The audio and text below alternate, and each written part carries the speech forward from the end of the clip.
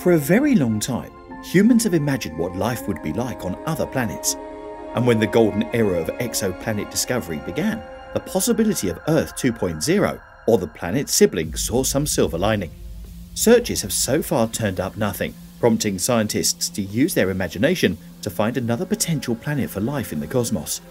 Now we can answer that question Thanks to the James Webb Space Telescope, the most potent telescope in the world, we will have new tools to respond to the age old query of whether or not there is life outside of Earth.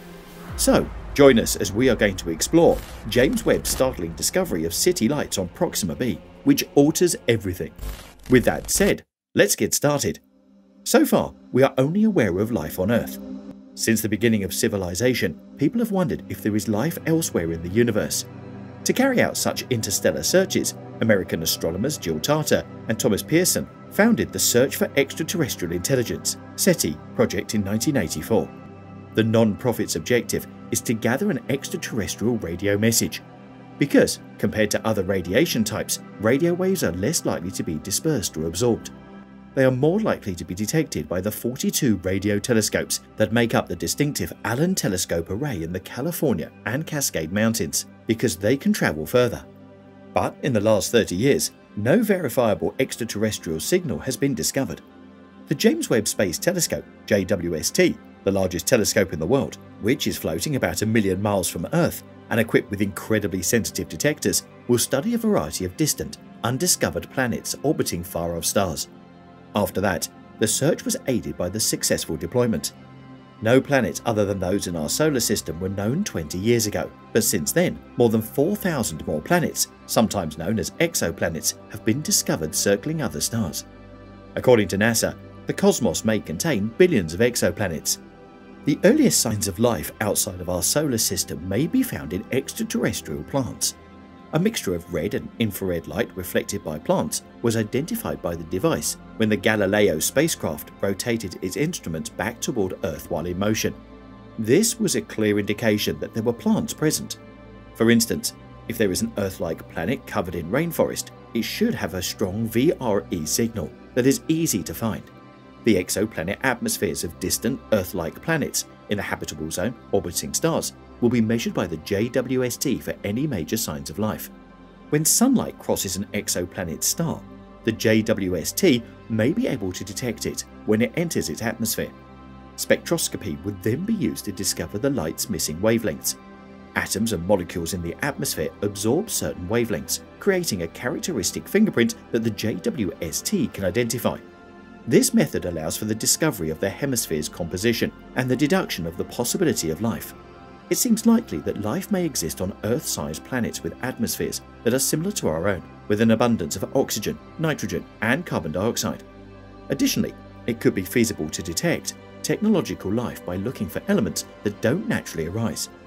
Chlorofluorocarbons, CFCs, which were created for use in cleaning supplies and refrigeration, would probably be noticeable to aliens from a distance in maintaining our atmosphere if the JWST found CFCs in planetary atmospheres, that would be a clear indication of civilization.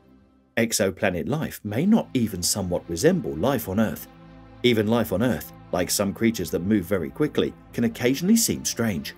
This is a category of organisms, usually bacteria, that can endure environments where other living things would not be able to. Some of them can withstand heat up to 250 degrees Fahrenheit Others can guarantee low temperatures of minus 4 degrees Fahrenheit. Others can be found on Earth in places where we would not expect to find any life at all, such as species that can survive in strong acids with pH values below 3.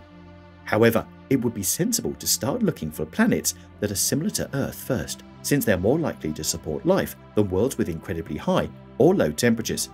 Prime candidates could have temperatures that allow liquid water to exist in their cells and circle a stable star. Temperature allows liquid water to dwell on its surface. The classification of our Sun as a yellow G-type star. However, stars in our universe are rarer and often have shorter lifespans. The likelihood of studying planets spinning around red dwarf stars, which are more common and have lower luminosities and temperatures than the Sun, is higher. There is more time for the formation of life and evolution to generate sophisticated life forms, since these stars have significantly longer lifespans. The first mission of JWST will study the TRAPPIST-1 planetary system, located around 40 light-years away from the planet. It revolves around a tranquil, red dwarf star and seven small, stony planets. Despite having a much smaller, colder mass than our Sun, three of the rocky planets in the so-called habitable zone might contain liquid water on their surfaces. Due to its planet's close orbit, the TRAPPIST-1 star produces light that is similar to that of the Earth. The best chance for humans to see city lights beyond the solar system is Proxima Centauri, a red dwarf star that is 4.25 light-years from the Sun and our nearest star. Because Proxima is around 600 times fainter than the Sun, a planet must be 20 times closer to its furnace than the Earth is to the Sun for it to host life based on liquid water. In August 2016, astronomers discovered a planet with a mass of 1.3 Earth masses in this habitable zone. Proxima b may be an airless planet, given that it circles its faint red dwarf star Proxima Centauri at a distance of only 4.6 million miles. The distance between the Sun and the Earth is 93 million kilometers, Due to Proxima b's close orbit, it receives enough sunlight to maintain temperatures that are comparable to those on Earth and liquid water. The planet is also exposed to powerful solar winds that have the potential to destroy its atmosphere. Because of its relative closeness to the star, Proxima b is thought to be tidally locked, always presenting the same side of the star as the Moon does regarding the Earth. Nearby, there is a constant dark side and a constant sunny side. Regrettably, simulations suggest that the hemispheres of tidally locked planets may be susceptible to fast collapse when volatile gases freeze away on the night side. On planets with strong magnetic fields, these atmospheres are less likely to escape, although volcanic activity can also replenish the atmosphere. Since we are unable to determine Proxima b's volcanic activity or magnetic field strength, or if we were desperately trying to find out since an atmosphere implies the existence of seeds, and the two taken together imply the existence of life, we are unable to even speculate about the planet's likelihood of having an atmosphere. If Proxima b already has a sophisticated civilization, it may have solar panels covering the day side to generate power to light and warm the night side, which would otherwise be too cold and dark for a suitable life. Here, the JWST comes into play. The key to identifying the planet's atmosphere is its infrared heat signature. Additionally, the infrared portion of the spectrum has a strong attraction for Hubble's replacement. Therefore, Proxima b's nightside city lights may always be visible to the James Webb Space Telescope. If artificial light were limited to a frequency range that is 1000 times narrower than starlight, humans could perceive it. Even if it were insufficient, our civilization relies on the night side of Earth's unique spectral edge and reflected starlight proximity for many of the technologies we use today.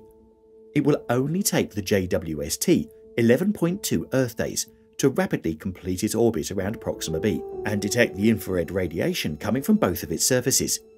We should pay close attention to the presence of gases like oxygen, water vapour, and methane in particular, since they may indicate the existence of livable circumstances, if not living things one of the planned ground-based observatories that will conduct a thorough atmospheric investigation is the Extremely Large Telescope, which is projected to begin operations in the middle of the 2020s. Comment below with your thoughts and let us know what you think.